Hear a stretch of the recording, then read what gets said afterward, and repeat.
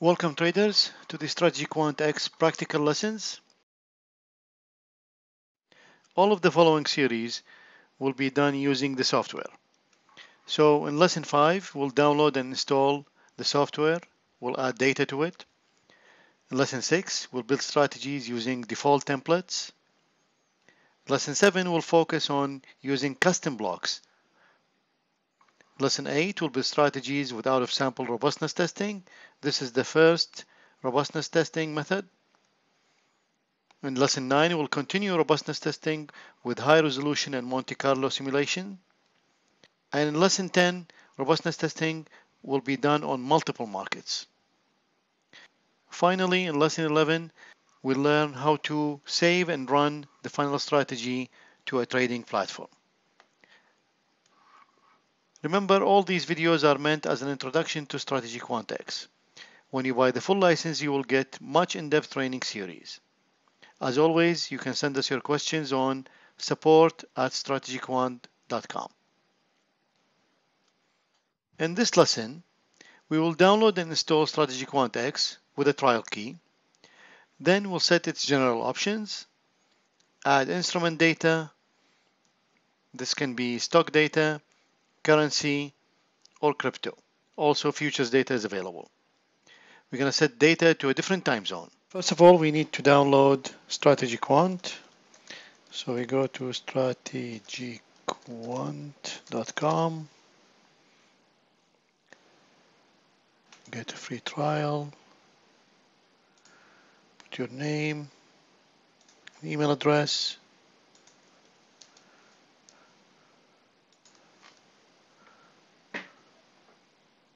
download 64-bit version, save file.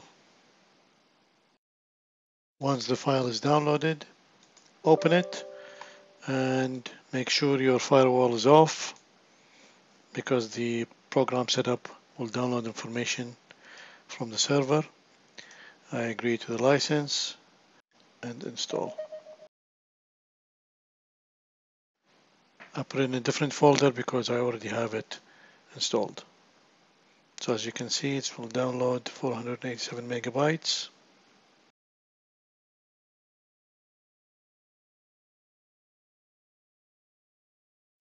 Okay, once it's done, start Strategy Quant. And you will need to enter the license that was emailed to you. Okay, once you launch Strategy Quant X, uh, you'll be faced with a screen like this depending on the version you're at because as they update the software uh, very frequently you might have different options showing on your screen. To sum it up it's uh, this is the welcome screen. Uh, what's new gives you what's new since the last build and these are the old uh, training uh, introduction. You're seeing the new training introduction right now and then quick links, how to backtest using like how to match the backtest in MetaTrader or TradeStation or multi-charts. Definitely this is important post installation steps, which is how to import the indicators into MetaTrader 4 and TradeStation. And then uh, there's a user guide to teach you how to do something like this training. And then um, here we can go to uh, configuration and we can start with the CPU make sure to reserve one core for the user interface.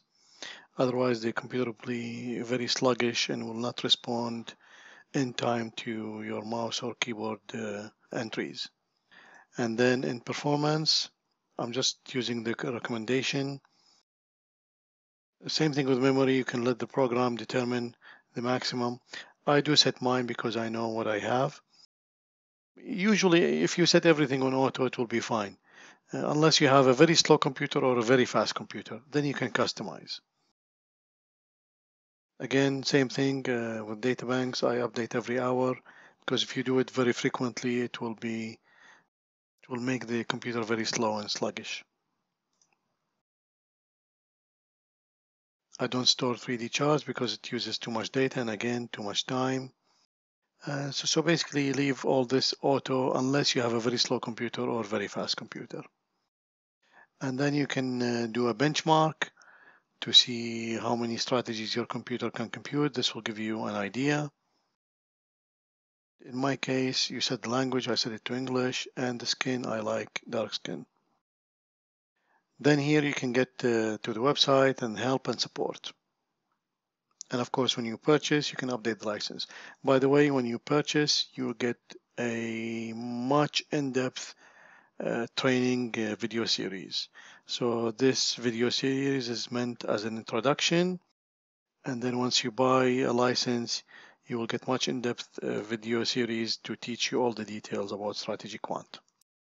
So uh, to start building, we need data. So the data that comes with the installation are currencies, Euro USD, Pound USD, and USD franc, and USD uh, yen. Now you can add more. In the trial version, you have you can download uh, some uh, pairs. Like for example, let's download the Australian USD, and we want M1 data, and we'll postfix it with M1. Okay, so this is one data, this is tick data. Tick, tick data will take a long time, of course. One minute data will take a very short time. Save. Okay, now we pick the uh, Aussie dollar and then we can download data for this existing symbol. I'm going to download last 10 years. You can download all data available and add only missing data. We don't want to override the existing data. This option is reserved for the license package where you can download at much faster rates. So we're going to add one minute data, last 10 years, or you can customize the date exactly.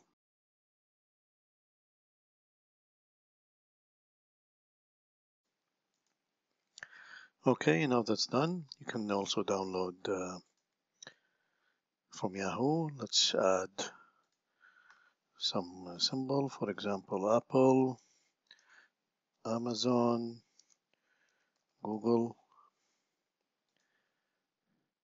and then same thing, you can pick the symbol and you download data for it. Again, choosing the same thing, only adding missing data. In this case, it will be uh, daily data, so it's very fast. And if you want to add uh, crypto data, so you go pick a network and let's pick uh, Bitcoin against US dollar. And we'll pick the hours resolution. And postfix it with the hour symbol then you click on the symbol and choose download data and we're going to pick 10 years Now, uh, if your broker is in a different time zone than the data you downloaded, then you need to change the data to that time zone. So your strategy, when it's programmed, for example, to exit at 12 p.m., it will be 12 p.m. your broker's time. Uh, you can do that for any symbol. Uh, it's very easy. For example, we did the uh, Aussie USD, and you can just go to Tools, clone to another time zone and then you're going to shift it let's say you can choose the time zone or you can decide if you're lucky you live in Hawaii and then you just uh, set it up proceed and it's almost done now the nice thing about this is this symbol now, you see it says clone. So that means whenever you update this symbol, which is the root, it will automatically update this one. So this one doesn't need to be updated at all. This is just a cloned uh, asset of this symbol, just shifted time. So you can shift it up or down depending on your broker place. Uh, you don't need to shift if you're trading in the same. So for, for example, let's say you downloaded the uh, E-mini futures for S&P in New York. And if you're trading that future using a broker in New York, then you don't need to shift the time. Yes, because the time of the data will be New York time, and then your broker is in New York, so then no need to shift the data. This shifting is only if your broker is in a different time zone, and therefore you want to match his timestamp. Great, uh, now that we have some data to work with, we can start building some strategies. See you in the next lesson.